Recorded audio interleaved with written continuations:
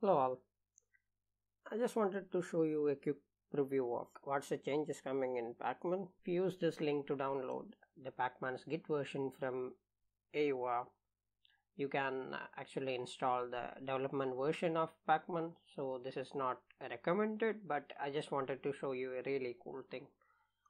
So if I go back and cd into pacman.git and if I do an ls you can see like uh, this is the pacman version 6 git. Like if I do an installation of this make package make package dash si oh I'm sorry si and if I do an installation it's going to download the dependencies it's going to compile and it's going to perform the installation. So usually it will ask you to replace your pacman version 5 to pacman version 6 so you can hit y if you want to try this one. So do pacman dash s y y u. Parallel downloads that's coming to pacman 6 so if i hit y for this you can see the number of packages being downloaded.